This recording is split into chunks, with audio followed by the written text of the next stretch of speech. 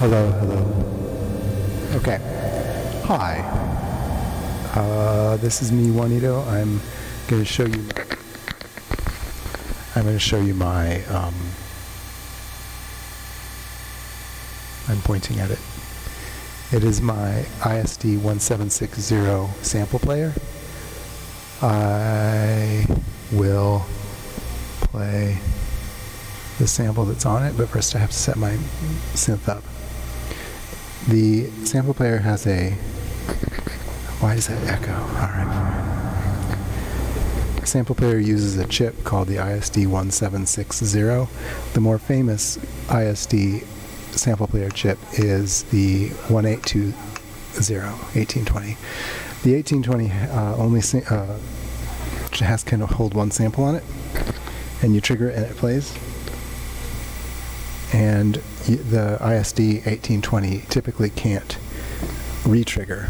Yeah, I figured out a way to make it retrigger, but typically it can't. Um, the ISD 1820 can be run with an Arduino to re- retrigger. It can play an arbitrary sample anywhere in the middle. Um, the problem with my uh, this doesn't trigger the first time very well. There it goes.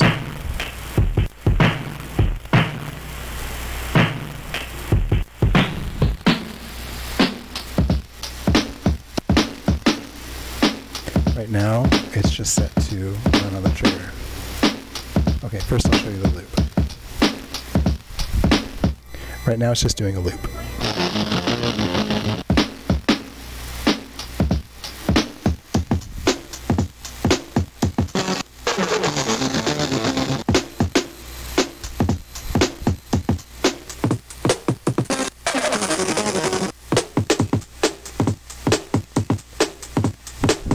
I have four different uh, drum loops on here. I have the Amen break right at the beginning, and like three other random ones I downloaded from the internet.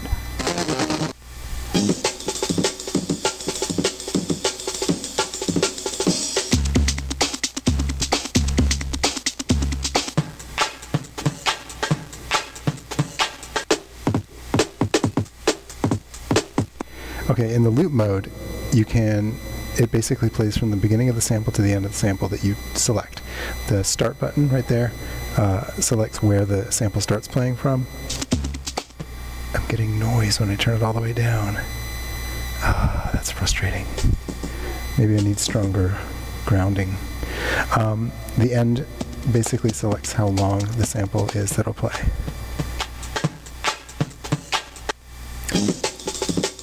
The beginning of the sample is because I pushed record on this and then pushed play on the device that was playing the sound.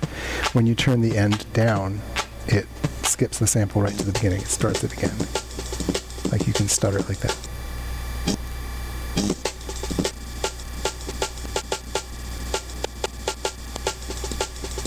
You can turn it all the way down and it will loop just like one tiny segment.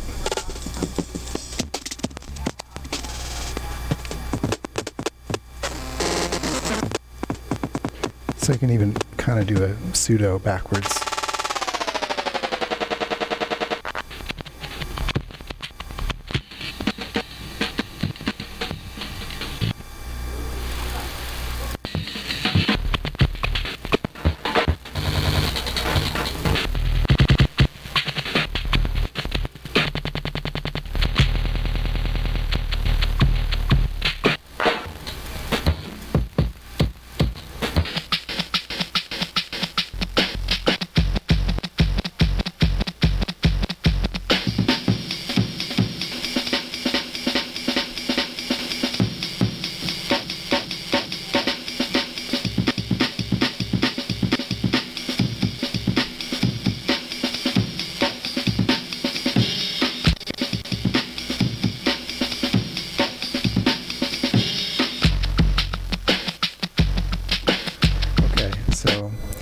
if you turn it to the trigger, then every time it triggers, it'll play, theoretically.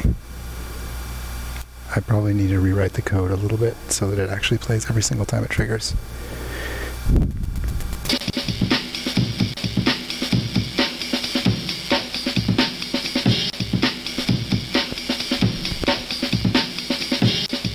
Okay, that is the Amen break.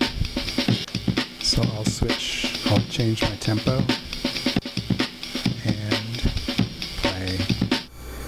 Bit of a rhythm.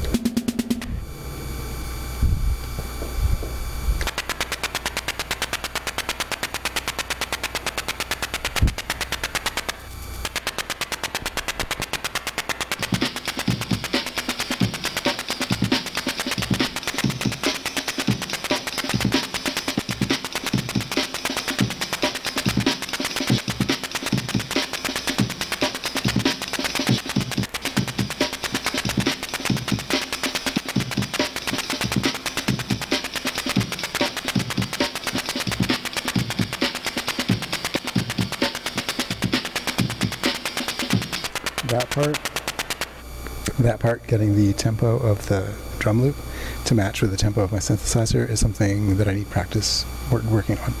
But I think I got it at this point.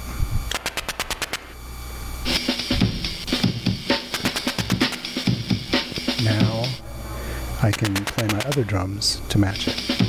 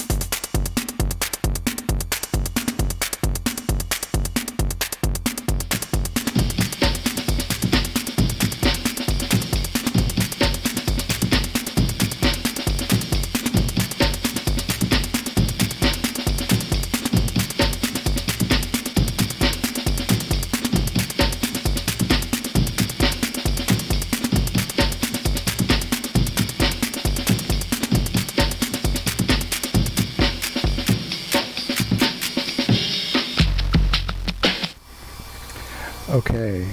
I okay. I hope that kind of demonstrates the new module.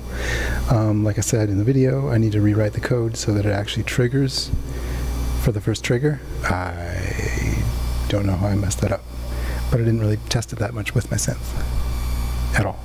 So, thanks for watching.